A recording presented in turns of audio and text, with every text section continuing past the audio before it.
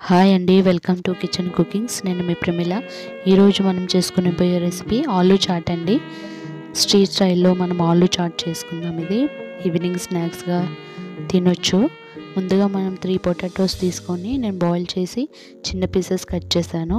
Over cook చేయకూడదు వీటిని. Three fourth boil చేసి చెక్కు తీసి నేను పీసెస్ కట్ చేశాను. ఇప్పుడు డీప్ ఫ్రైకి సరిపడా ఆయిల్ యాడ్ చేసి హీట్ చేస్తున్నాను.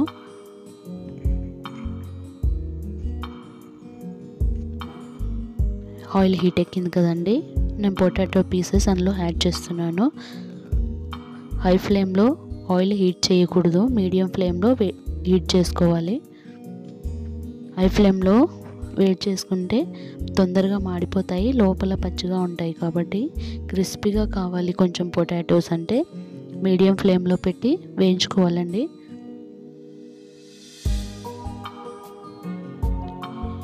ఈ విధంగా వేయించుకోవాలి. ఇంకా వేయగాలండి గోల్డ్ కలర్ వచ్చాయి కదా ఇంకొంచెం వేగితే బాగుంటాయి.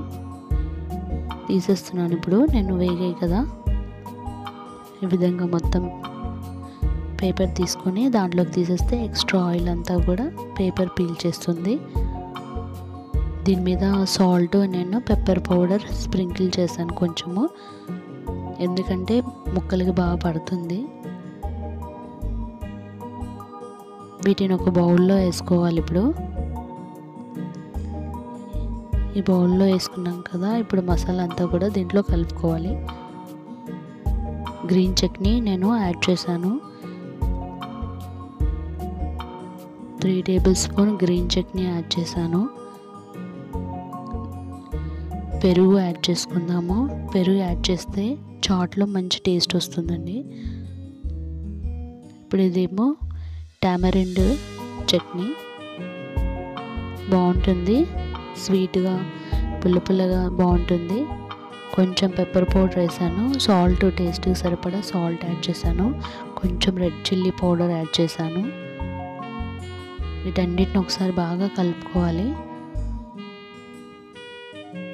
ఈ చాట్ మామూలుగా ముంబైలో బాగా చేస్తారండి. స్ట్రీట్ సైడ్లో ఈ చాట్ ఎక్కువగా ఉండేది. ముంబైలో ఉంటుంది. ఈ విధంగా మనం కూడా చేసుకోవచ్చు అని నేను కొత్తగా ట్రై చేశాను. కొరియండర్ లీవ్స్ పైనుంచి కట్ చేసేసాను కొత్తిమీర. ఇప్పుడు ఇవి సర్వింగ్ బౌల్లోకి తీసుకుందాము. ఈవినింగ్ స్నాక్స్గా కనుక ఇలా చేసి పెడితే బాగుంటుంది. పిల్లలు ఇష్టంగా లైక్ చేస్తారు. పెద్దవాళ్ళైనా కూడా ఇష్టంగా లైక్ చేస్తారండి. ఒకసారి ట్రై చేసి చూడండి. ఈ విధంగా ఫోక్తో కానీ టూత్పిక్తో